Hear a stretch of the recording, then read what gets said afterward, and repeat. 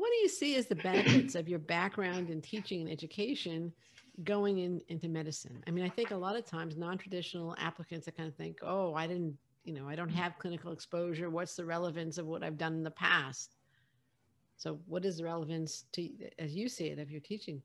Yes, I'm, I'm really glad you asked that question um, because I think, I think this question is like a really, you know, a springboard for a really rich discussion. Um, so, I mean, I'm going to say this about many jobs, not just teaching, but having a job before medical school. Um, there's so much you can you can learn um, from so many of these jobs that are absolutely transferable to, to medicine. Um, so to speak about teaching a little bit, um, when, when you're a teacher, you know, you're, you're, you're told to teach a certain subject and you're, you're given this like, you know, load of information to kind of sift through and, and you have to decide like, what am I going to teach? And what do you focus on when you review and what do you ask on a test? And you really learn to zoom in on the important information. And this is so important for medical school. I mean, every medical student I'm sure will agree with me. You're you're flooded with information. In my opinion, this is a flaw in medical education, but that's a discussion for another time.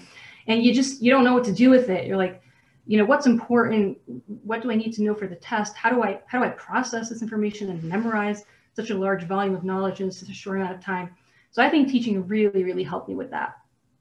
Um, the other thing I would say is is that um, definitely with teaching, but I'm, sure this applies in other jobs as well. Um, you have to learn to deal with lots of different types of people.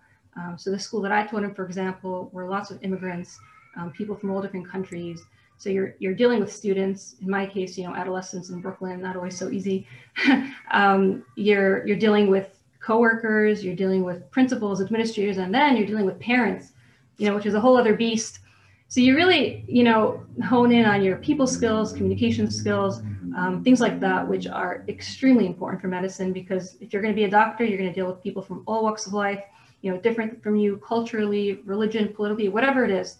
Um, and you have to know how to, you know, see eye to eye with, with people who are different than you.